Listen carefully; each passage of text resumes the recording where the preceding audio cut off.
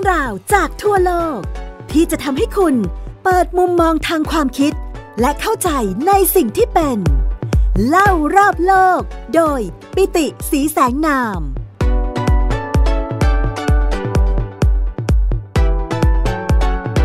สวัสดีครับ คุณผู้ฟังที่รักทุกท่านกลับมาพบกับผมปิติสีแสงนามและไทย PBS Podcast เล่ารอบโลกกันในตอนใหม่แล้วนะครับ ในช่วงนี้เองผมก็กำลังเตรียมต้นฉบับนะครับสำหรับหนังสือนะครับที่เกี่ยวข้องกับเรื่องของภูมิรัฐศาสตร์ ภูมิเศรษฐศาสตร์ ฉบับใหม่อยู่นะครับ ตัวผมเองเนี่ยมีโอกาสได้รับเชิญไปบรรยายนะครับในหลายๆงานนะครับ แล้วงานหนึ่งเนี่ยนะครับที่ได้รับเชิญนะครับก็น่าสนใจมากเพราะว่าผมเองเนี่ยได้มีโอกาสแลกเปลี่ยนนะครับกับดรวิทย์สิทธิเวคินนะครับแล้วก็รองศาสตราจารย์ดุลยภาคปรีชารัตน์ เรื่องหนึ่งที่เราคุยกันด้วย วันนั้นเนี่ยเป็นเวทีที่จัดคุยกันเรื่องเกี่ยวข้องกับอินเดีย และเรื่องหนึ่งที่พวกเราแลกเปลี่ยนกันนะครับก็คือมองว่าเอ๊ะในห่วงเวลาที่ความขัดแย้งทางด้านภูมิรัฐศาสตร์ภูมิเศรษฐศาสตร์มันพุ่งถึงขีดสุดแบบแบบอย่างในปัจจุบันนี้เนี่ยนะครับเเราสามารถที่จะเรียนรู้จากนักยุทธศาสตร์นะครับหรือว่านักกลยุทธ์ของอินเดียในอดีต คนไหนได้บ้างที่น่าจะต้องพูดถึงกัน ถ้าเกิดว่าเราพูดถึงนักยุทธศาสตร์เก่งๆ ระดับซือแปะเนี่ยคนไทยส่วนใหญ่มักจะคุ้นชินกับนักยุทธศาสตร์ทางฝั่งจีนใช่ไหมครับ อย่างเช่นเรานึกถึงขงเบ้งจูกัดเหลียงใช่ไหมในเรื่องของสามก๊กใช่ไหมครับที่เป็นคล้ายๆกับที่ปรึกษาทางการยุทธนะครับของเล่าปีนะครับที่ทำให้ เจ้าปลายแถวอย่างเล่าปีเนี่ยสามารถขึ้นมายืนเป็นหนึ่งในสามก๊กขนาดใหญ่ได้นะครับแล้วก็รักษาแคว้นของตัวเองไว้ได้จนถึงช่วงเวลา แล้วก็แบ่งประเทศเป็นสามก๊กเพื่อให้คานอำนาจกัน หรือว่าเราอาจจะเคยได้ยินชื่อของเล่าจื้อถูกต้องไหมครับเล่าจื้อเองก็เป็นอีกหนึ่งนะครับปราชญ์ชาวจีนนะครับที่อออยู่ในแคว้นฉู่นะครับตั้งแต่สมัยช่วงสักเอ่อ2,000 ปีที่แล้วนะครับ แล้วก็นำมาซึ่งการสร้างคัมภีร์ที่เรียกว่าเต๋าเต็กเก่งนะครับหรือว่าเต๋าเต๋อจริงนะครับ ซึ่งพูดถึงการเมืองการปกครองของจีน หรือว่าซุนจื้อนะครับหรือว่าซุนวูนะครับที่มีวาทะเด็ดนะครับแล้วก็มีกลยุทธ์ใช่ไหมครับ The Art of War คำที่เรามักจะได้ยินเสมอๆก็อย่างเช่นรบร้อยครั้งชนะร้อยครั้งนะครับ ถ้าเกิดว่าเราสามารถที่จะรู้ข้อมูลของอคู่ต่อสู้ของเราได้ เพราะฉะนั้นเรื่องราวเหล่านี้เนี่ยเป็นเรื่องราวที่ในที่สุดแล้วมันก็กลายมาเป็นตำรายุทธพิชัยสงครามของไทยในอดีตด้วย แต่ยุทธพิชัยสงครามของไทยหรือว่านโยบายการต่างประเทศด้านความมั่นคงของสยามในอดีตเนี่ยเราไม่ได้เรียนรู้จากฝั่งเฉพาะแค่ฝั่งจีนอย่างเดียวนะครับ อีกฝั่งหนึ่งที่เราเรียนรู้มาก ๆด้วยนะครับ นั่นก็คือฝั่งของอินเดีย ซึ่งแน่นอนนักปราชญ์ของอินเดียที่รองศาสตราจารย์ดรดุลยภาพปรีชารัตน์ แนะนำนะครับ แล้วก็ทำให้ผมเออ นึกถึงชื่อนี้ขึ้นมา แล้วก็คิดว่าวันนี้จะมาชวนคุณผู้ฟังคุยนะครับ ก็คือชื่อของจานักกยะจยาม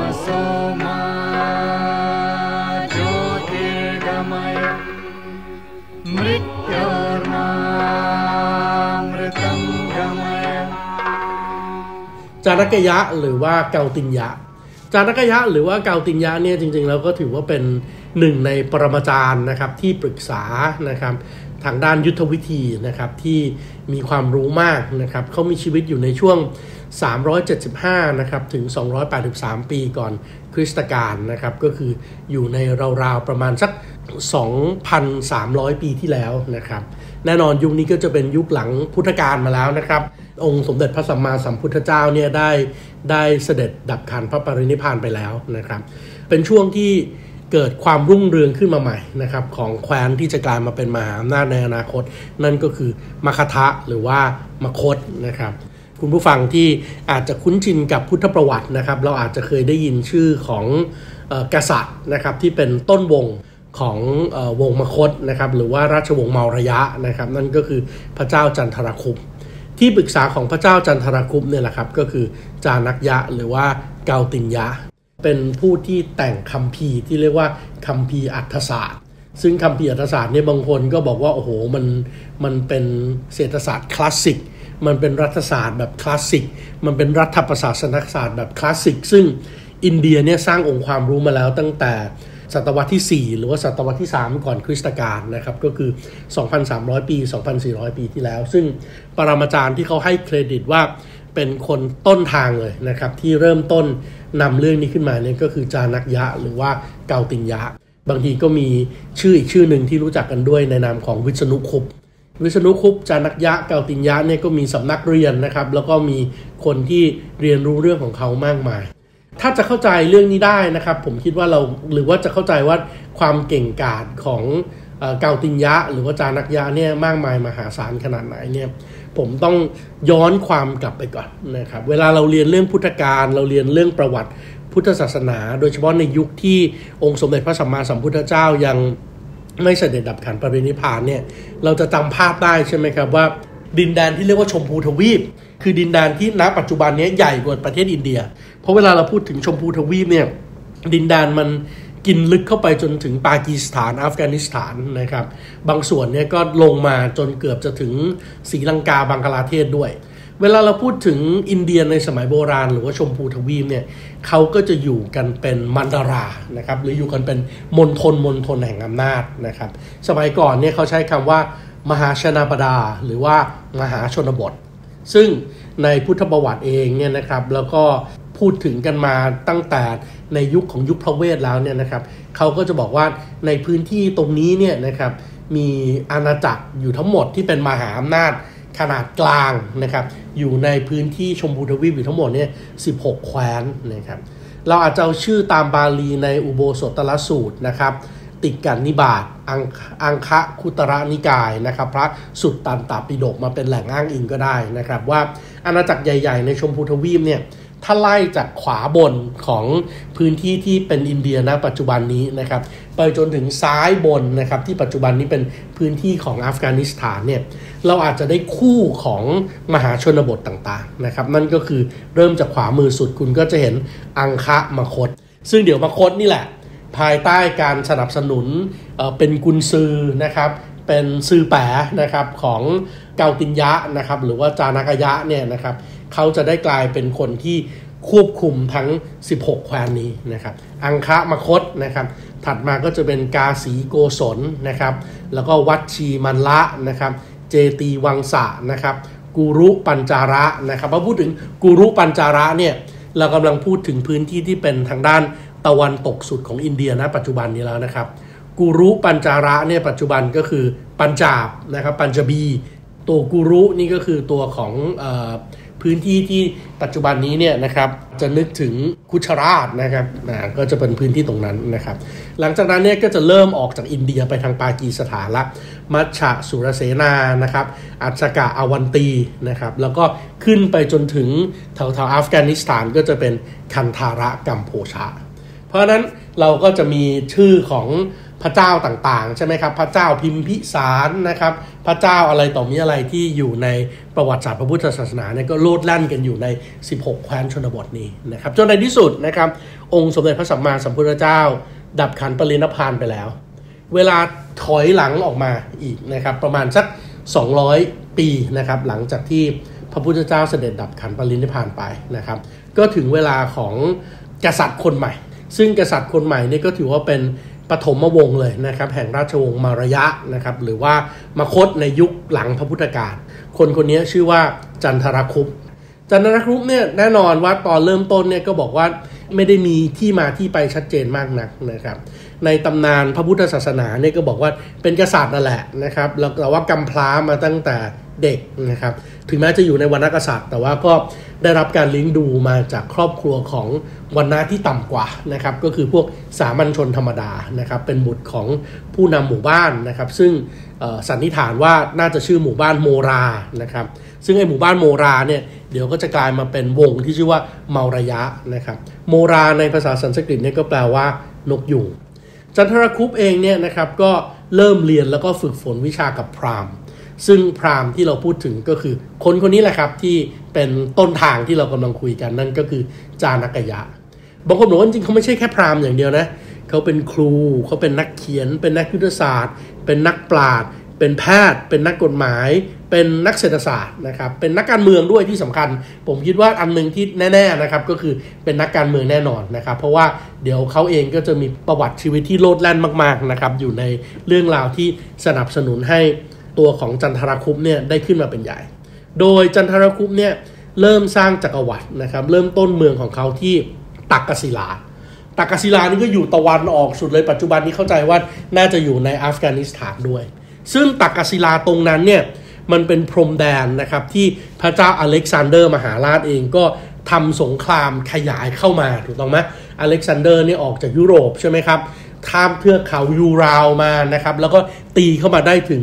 ปัจจุบันนี้ก็คือพื้นที่ของเอเชียกลางละและกำลังที่จะเข้ามายึดชมพูทวีปอเล็กซานเดอร์พอรบไปที่ไหนชนะก็ตั้งเมืองแล้วก็มักจะตั้งชื่อเมืองว่ามีคำว่าอเล็กซานเดอร์อยู่ใช่ไหมครับเอ่อเมืองอเล็กซานเดรียอะไรอย่างเงี้ยนะครับ เพราะนั้นอเล็กซานเดอร์มหาราชเองเนี่ยก็เริ่มต้นที่จะข้ามเทือกเขาฮินดูกุชเข้ามา แล้วก็กองทัพกรีกที่ยิ่งใหญ่เนี่ยก็อยากที่จะยึดชมพูทวีป แต่อย่างไรก็ตามนะครับสิ่งที่เกิดขึ้นก็คืออ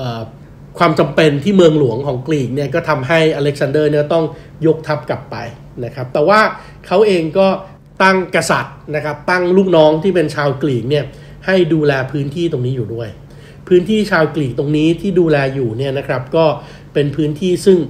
เป็นรอยต่อนะครับระหว่างราชวงศ์เดิม ราชวงศ์เดิมที่ครองพื้นที่ตรงนี้อยู่เนี่ยนะครับก็คือราชวงศ์นันทะนะครับพระเจ้ามหาปัทมนันทะเองนะครับก็ลบนะครับกับเมืองปาตาลิบุตร แล้วก็ลบกับพระเจ้านิเคเตอร์สนิเคเตอร์สก็แน่นอนนะครับเซลูคัสนิเคเตอร์เนี่ยเป็น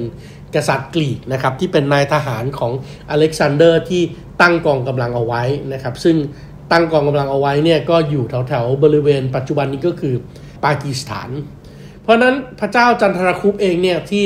ในที่สุดแล้วสามารถที่จะตั้งอาณาจักรของตัวเองได้นะครับ แล้วก็ลบล้างเอาราชวงศ์นันทาออกไปได้ ก็แน่นอนขึ้นมาด้วยความเป็นกุนซือของจานักยะนี่แหละนะครับ โดยกลยุทธ์ที่จาณักยะบอกนะครับ เพื่อทำให้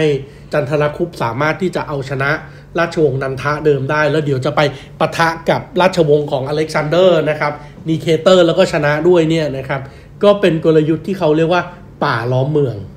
บางคนก็มีตำนานเพิ่มขึ้นไปอีกนะครับ แต่ว่าไม่รู้เรื่องจริงเรื่องเท็จนะครับ แต่บอกว่ามันมีปัญหาก็คือตัวของ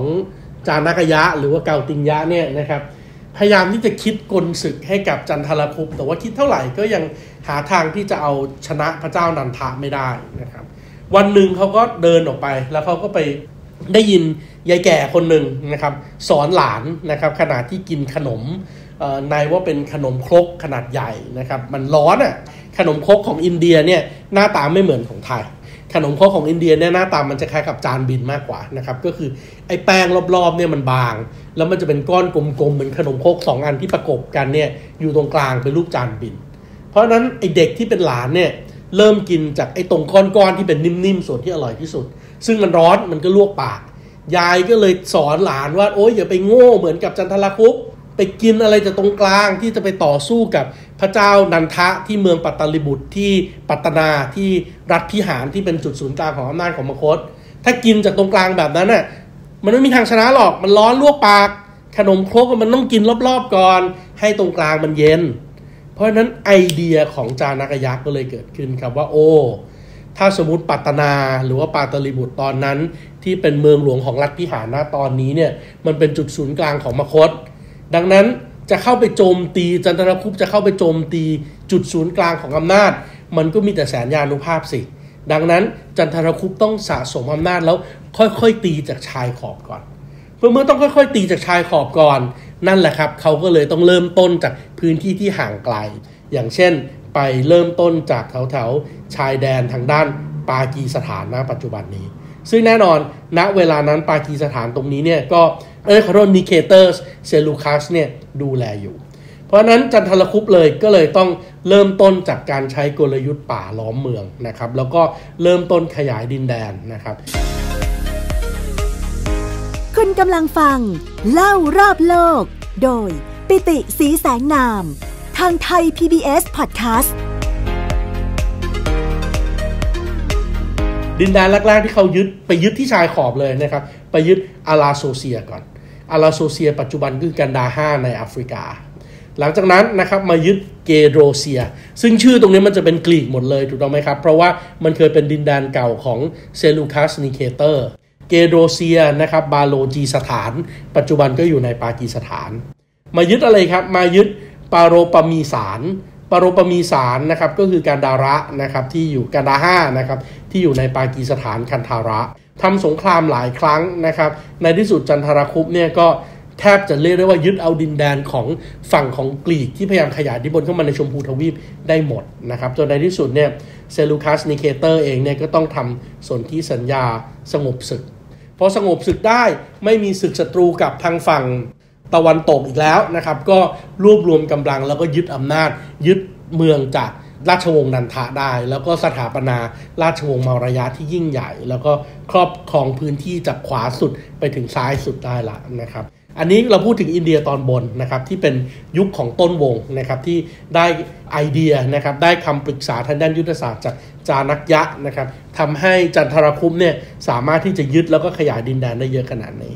แล้วก็แน่นอนพ่วงมากับส่วนที่สัญญาสงบศึกของฝั่งเซลูคัสเมนนิเคเตอร์เนี่ยนะครับนิเคเตอร์เองก็มอบลูกสาวที่เป็นเชื้อกรีกเนี่ยนะครับให้เป็นเจ้าหญิงนะครับมาแต่งงานกับจันทรคุปด้วย แต่ว่าจันทรคุปกับเจ้าหญิงกรีกเนี่ยก็ไม่ได้มีลูกด้วยกันนะครับเดี๋ยวเขาจะมีเมียอีกคนหนึ่งนะครับ ซึ่งเป็นคนอินเดียด้วยกันนะครับ ชื่อว่าพระนางทุระฮาราทุระฮาราเองเนี่ยนะครับก็จะมอบลูกให้กับเขา ลูกที่มอบให้กับเขาเนี่ยนะครับ เราก็จะรู้จักเขาในนามของกษัตริย์นะครับ ที่ชื่อว่าพระเจ้าพินทุสารพอมอบสมบัติให้กับพินทุสารได้ ตัวของจันทรวุก็ไปออกบวชนะครับ อันนี้ก็เป็นวิธีคิดแบบพราหมณ์ฮินดูเต็มที่เลยถูกต้องไหมครับ พอถึงจุดหนึ่งก็อยากที่จะเป็นอาสมสี่อะถูกต้องไหมถึงวัยหนึ่งก็ออกบวชนะครับ แล้วก็ปลีกวิเวกเพื่อที่จะเข้าสู่โมกษะเพราะนั้นพินทุสารก็ขึ้นมา พินทุสารนี่ก็มีตำนานอีกนะครับว่าพินทุสารเองเนี่ยนะครับเกิดขึ้นนะครับเป็นลูกของนางทุรหารานะครับ ซึ่งก็เป็นอีกภรรยาหนึ่งของพระเจ้าจันทรคุปแต่ว่า ตัวของพิทุสารเนี่ยมีความพิเศษอย่างหนึ่งนะครับ เพราะว่าตัวของจันทรคุปในฐานะที่มีกุนซือซือแปะยิ่งใหญ่ระดับจานักยะเนี่ยจานักยะก็มองว่าจริง ๆ แล้วภัยสงครามที่เอาชนะมาได้เต็มไปหมดเลยเนี่ยมันอาจจะมาแพ้ภัยจากคนใกล้ชิดได้ และภัยจากคนใกล้ชิดที่ง่ายที่สุดก็คือการลอบวางยาพิษ ซึ่งแน่นอนกษัตริย์ที่ยิ่งใหญ่จำนวนมากนะครับ เสียชีวิตเพราะการลอบวางยาพิษจากคนที่อิจฉาที่อยู่ในวงเดียวกัน เพราะฉะนั้นจานักยะเองก็เลยใช้ความรู้ความสามารถของตัวเอง นอกจากในเรื่องของยุทธยุทธศาสตร์ยุทธวิธีแล้วเนี่ยก็ยังมีความสามารถเขาก็มีความสามารถทางการแพทย์ด้วยถูกต้องไหมเขาเป็นปราดแบบพหูสูตรอะเพราะฉะนั้นจานักยะเองเนี่ยก็เริ่มต้นการทดลองครับ โดยการแอบเอายาพิษปริมาณน้อยๆเนี่ยใส่ในอาหารให้กับจันทรคุปกิน เพื่อว่าจันทรคุปเองเนี่ยจะได้สร้างอิมมูนซิสเต็มไอ้นี่คือหลักการที่เดี๋ยวมันก็หลักการเดียวกันกับการ ทำเซรุ่มถูกต้องปะทำให้เชื้อมันอ่อนลง แล้วก็ทำให้คนมีพิษต้านทานมีพิษอยู่ในตัวแล้วต้านทานเชื้อโรคหรือว่าพิษต่างๆ ได้มันเขาแอบเอายาพิษใส่อาหารในปริมาณที่น้อยมาก ๆ เพื่อให้จันทรคุปเนี่ยคุ้นชินกับกับเอ่อกับตัวของสารพิษพวกนั้น ซึ่งจันทรคุปเองก็ไม่รู้ไงว่าจานักยาช่วยอยู่แบบนั้นนะครับ เพราะฉะนั้นก็เอา เอาอาหารเนี่ยแบ่งให้กับภรรยาเป็นที่รักรับประทานด้วยนะครับภรรยาเป็นที่รักคนนั้นก็คือนางทุระหาราเพราะทุระหาราซึ่งตั้งคันอยู่นะครับก็กินอาหารที่มีสารพิษเข้าไปนะครับพอจานักยะรู้ก็อ้าวเฮ้ยชิปเป่งแล้วจะทำยังไงดีนะครับกลัวเดี๋ยวองค์พระราชทายาทที่อยู่ในท้องเนี่ยเกิดรับสารพิษเข้าไปแล้วแท้งก็แย่เลยถูกต้องไหมครับ เพราะฉะนั้นสิ่งที่เกิดขึ้นก็เลยใช้ความสามารถของเขาเนี่ยในการที่จะ ทำศัลยกรรม ผ่าคลอด ผ่าคลอดเอาลูกที่อยู่ในคันมารดาออกมาได้ แต่ในช่วงของการผ่าคลอดเนี่ยเนื่องจากเด็กได้รับพิษลงไปแล้ว พิษมันก็เลยไปกองอยู่ที่บริเวณหน้าผาก จุดที่เป็นแผลเป็นที่เกิดจากการคลอดที่อยู่บริเวณหน้าผากเนี่ยนะครับมันตรงกับจุดที่เป็นปินดีอะคือจุดที่อยู่ตรงกลางหน้าผากเวลาคนอินเดียไปไหว้พระที่ที่ศาลต่างๆ เขาจะเจิมหน้าผากมา ไอจุดนี้เขาเรียกปินดี ราะฉะนั้นลูกคนนี้ก็เลยได้ชื่อว่าพินทุสาร พระเจ้าพินทุสารก็เลยเกิดขึ้นนะครับโอ้โหแล้วพระเจ้าพินทุสารเองนะครับ ก็แน่นอนมีเชื้อของจันทรคุปได้เรียนหนังสือนะครับกับกับจานักยะนะครับ เพราะนั้นจึงไม่ใช่เรื่องแปลกนะครับ ที่เขาจะมีความเก่งกล้าสามารถ และความเก่งกล้าสามารถนี้ก็สืบทอดต่อไปจนถึงรุ่นลูกของพระเจ้าพินทุสารด้วย ซึ่งแน่นอนลูกของพระเจ้าพินทุสารมีเยอะนะครับ แต่ว่าคนที่เก่งที่สุดแล้วก็ขยายดินแดนของ อินเดียณปัจจุบันนี้ หรือว่าชมพูทวีปณเวลานั้น หรือมคตณเวลานั้นนะครับหรือว่าราชวงศ์เมาระยะณเวลานั้นไปได้ไกลที่สุด กว้างขวางที่สุด ใหญ่กว่าแผ่นดินอินเดียณปัจจุบันนี้นั่นก็คืออโชกาหรือว่าอโศกมหาราช ซึ่งอโศกมหาราชเองนี่ก็ถือว่าเป็นรุ่นสุดท้ายละของ 3 ชั่วคนที่มีซื่อแปะกุนซือมหาศจรรย์ที่ชื่อว่าจานากายะ ผมคิดว่าวันนี้เราพอเห็นภาพนะครับว่าโอ้โหจานากยะนี่ถือว่าเป็นเป็นซือแปะที่เก่งขนาดไหน ลองนึกภาพว่าสนับสนุนจันทรคุปจนในที่สุดเนี่ยยึดครองอินเดียได้ ต่อสู้กรีกได้ ขยายวงต่อไปได้จนในที่สุด เกิดพระเจ้าอโชกานะครับที่ยิ่งใหญ่ แล้วก็อาณาจักรชมพูทวีปเนี่ยจาก 16 มหาชนบทเนี่ยก็กลายเป็น แคว้นเดียวนะครับที่กลายเป็นหนึ่งเดียวก้อนเดียวกันได้หมดนะครับเพราะฉะนั้นนี้ก็ถือว่าเป็นความเจ๋งนะครับของสื่อแปดที่ชื่อจานักยะ แต่ว่าเนื้อความของจานักยะแล้วก็คำปิยตศาสตร์เนี่ยเขาพูดถึงอะไรบ้าง เราจะมาเล่าให้คุณผู้ฟังฟังต่อใน Thai PBS Podcast เล่ารอบโลกในตอนต่อไปครับสำหรับวันนี้เวลาหมดแล้วครับ ปิติศรีสนามขอลาไปก่อน สวัสดีครับ ติดตามรับฟังรายการ เล่ารอบโลก ได้ทางเว็บไซต์และแอปพลิเคชันไทย PBS Podcast และติดตามความเคลื่อนไหวรายการได้ที่ สื่อสังคมออนไลน์ Thai PBS Podcast ทั้ง Facebook, Instagram, YouTube และ Twitter Thai PBS Podcast Build the world via the voice